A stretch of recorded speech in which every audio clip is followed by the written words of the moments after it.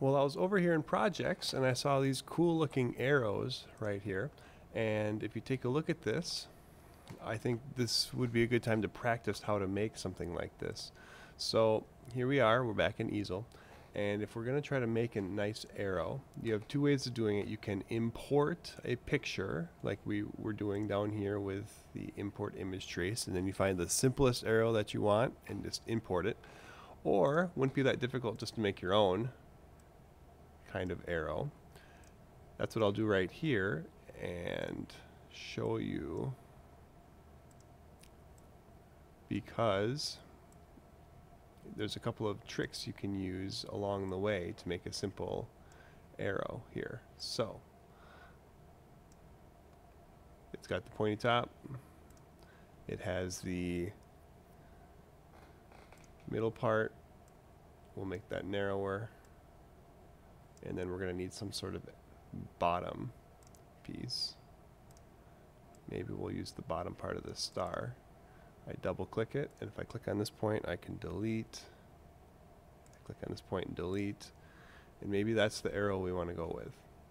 Okay, but it's not all, it's not lined up perfectly. You can see that it's kind of askew. There's a tool to help with that. If I highlight all the pieces that I want, this pops up. These are the align tools. This will align them all to the left.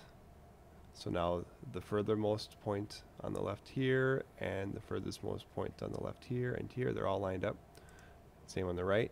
What we want is the center. So now those are all lined up dead center. You could also line them up bottom, middle, top. Oh, I just made a mistake. So I'm going to go to edit, undo, undo, undo.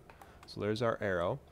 And because we, we want to keep the arrow, we're not going to cut the path, we're going to cut an outline. So I haven't showed you this yet. We are, we are going to be cutting an outline. If I click cut on the shape path, path, now I've got these three arrow bits here. Well, that's no good. It's going to cut out this weird shape, plus a little block, plus this and this and this.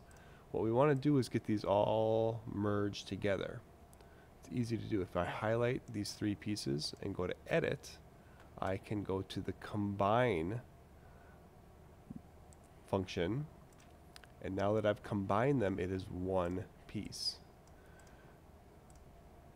Same with making a snowman, for example. Here is the snowman very quickly. If I try to make an outline so that I can keep this snowman. I should align them quick. Highlight them, then use the center align. Now they're all centered. But if I try to cut it out so I can keep it, I'm, I'm going to have cut apart circles. What I'm going to do is go to edit and combine, and now I've got a snowman shape. Back to our arrow. arrow.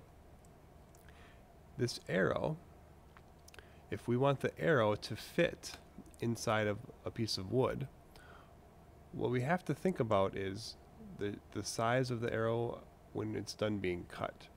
And so that's why there are three options here. We have cut on shape path, we've got cut outside of shape path, and we've got cut inside of shape path. And if you were watching, you can see that it's changing size as we go along. What's happening is this. We have a arrow that is being we have a path here and that drill bit is going to cut either on the shape path and it's going that drill bit is going to be cutting out everything on that path which means part of the drill bit's going to be cutting smaller and part of the drill bit's going to be cutting outside of the shape path and so what you'll end up with if you do it on the shape path is it will be a little bit smaller than you, you designed it to be. And the hole will be a little bit bigger than you designed it to be. So that's on path. Well, if you choose outside, now here's a circle. If I choose the outside, now the drill bit is going to be cutting outside of that circle. So the circle is going to be exactly the size that I set it to be. but the hole that it leaves, the hole in the board, is going to be larger.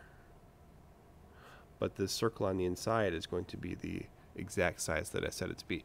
It, the opposite is true if I cut on the inside of the shape path. Now if I have a circle here, now it's cutting inside of that path that we have and it is going to leave a smaller circle than what you designed but the circle itself, the hole that is left, will be the exact size that you want it to be. So inside, we'll leave the hole the correct size. Outside, we'll leave the the, uh, the, the, the piece on the inside the exact size. And on path, kind of splits the difference. So if we go back here, if I want to make an arrow that's going to fit inside of a board, what I'm going to need to do is cut the arrow out on the outside shape path. And so you can see now it's cutting outside of that arrow shape. I'm going to copy the arrow and pull up the menu here. So now I've added a second page. Here's page one. If I go to page two and paste it in, now I can cut a hole by selecting inside.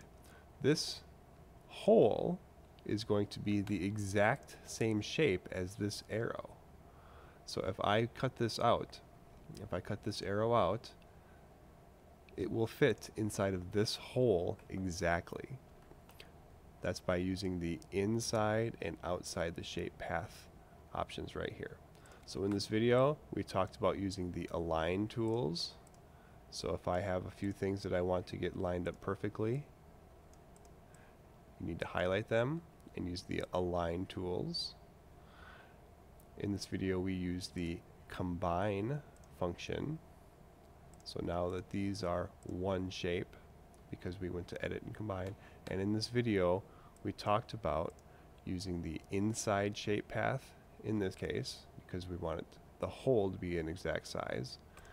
And then we use the outside shape path in this case because we want the inner left behind piece to be a, an exact size.